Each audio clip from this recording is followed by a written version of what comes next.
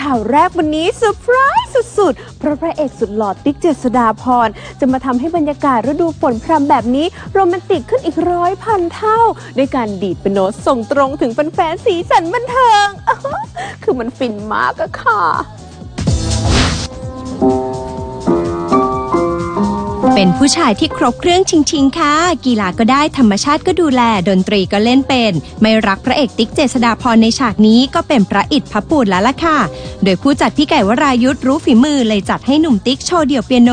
ในฉากชิลๆของละครเจ้าบ้านเจ้าเรือน โดยเป็นช่วงที่หนุ่มติ๊กยังเป็นคนที่ข้องเกี่ยวกับสาวๆมากมาย ซึ่งในฉากก็มีสาวจิ๊บตุสิตามาร้องเพลงรักหวานด้วยกัน เห็นลีลานักร้องร้องได้เพราะขนาดนี้ คงต้องยกความดีให้กับมือเปียโนสุดหล่อที่บรรเลงได้พริ้วจับใจ ให้คะแนนเต็มล้านแบบไม่ลำเอียงเลยค่ะ อิอิ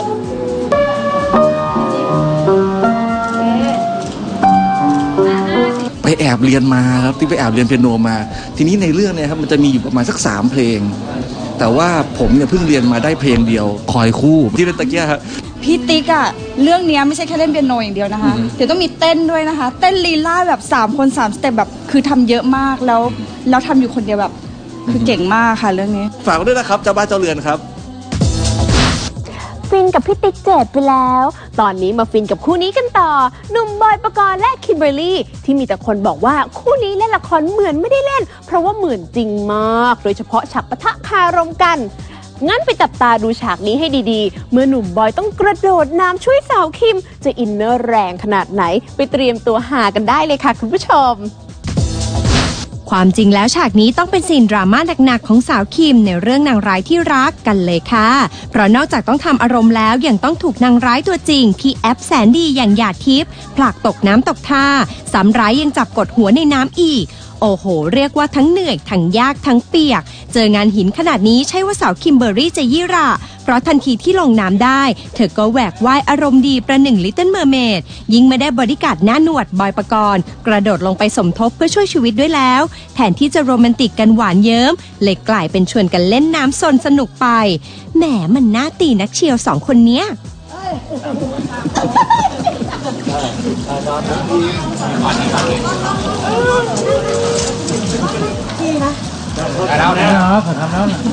ถ้าเราก็จำลองเหมือนจริงสุดไง แบบว่าสถานการณ์แบบ โนล่ะ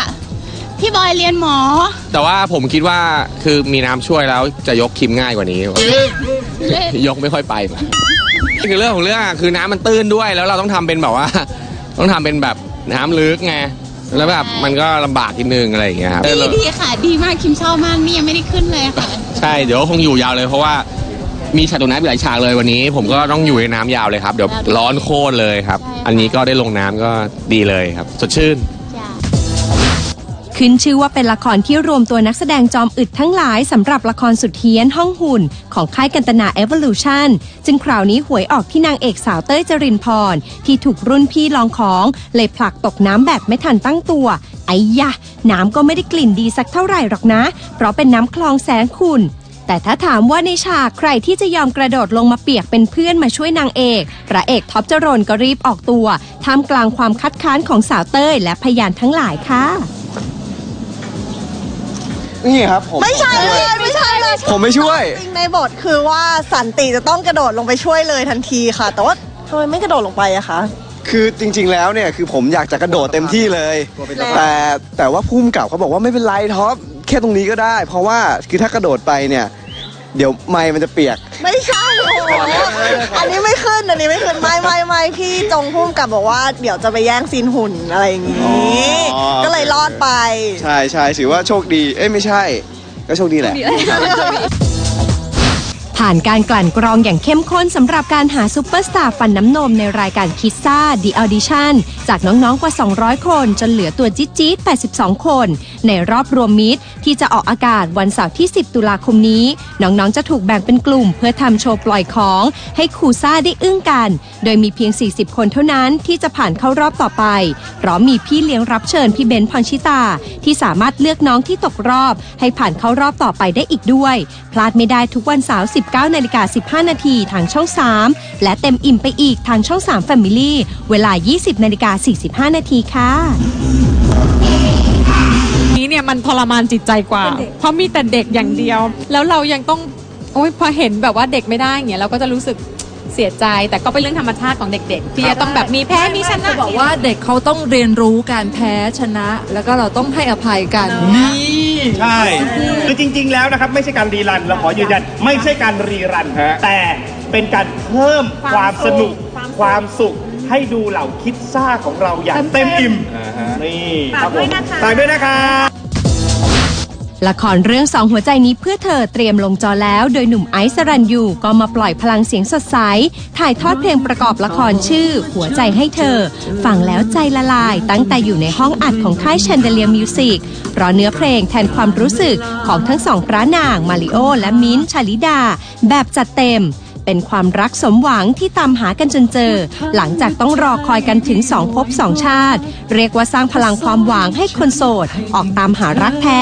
ผ่านทั้งเพลงทั้งละครกันไปเลยล่ะค่ะ รักมีคำตอบเมื่อฉันเจอเธอ ถ้าคุณฟังเนื้อเพลงนี้นะ คุณจะรู้สึกเหมือนแบบ เฮ้ย นี่เรากำลังตกหลุมรักอยู่หรือเปล่าเนี่ย อย่างนี้เลย มันฟงออเฟรงมันฟงเฟรงมันจะมีความฟงเฟรงอยู่ครับ คือตะกี้เราร้องด้วยอารมณ์บวกจริงๆนะพี่หนึ่งเนาะ คือเราเราร้องด้วยเราร้องด้วยความรู้สึก ความรู้สึกดีจริงๆอะมันคือตัวแทนของตัวแทนของความรักที่เกิดขึ้นจากพระเอกที่มีให้เขาจริง ๆ ตอนนี้แบบเดินไปคนทักโอโอเลยนะ ตอนนี้ก็ได้เวลาไปเชียร์ 5 พระนาง นุ่นคริสลิเดียเป่ากล้อง ขับเคี่ยวแข่งขันประชันความโดดเด่นในละครเพื่อนรักเพื่อนริษยากันต่อแล้วนะคะ วันนี้ต้องขอขอบคุณชุดพิธีกรจากวี และเครื่องประดับจากวาคุวาคุเว้นต้องขอลาคุณผู้ชมไปก่อนค่ะ สวัสดีค่ะ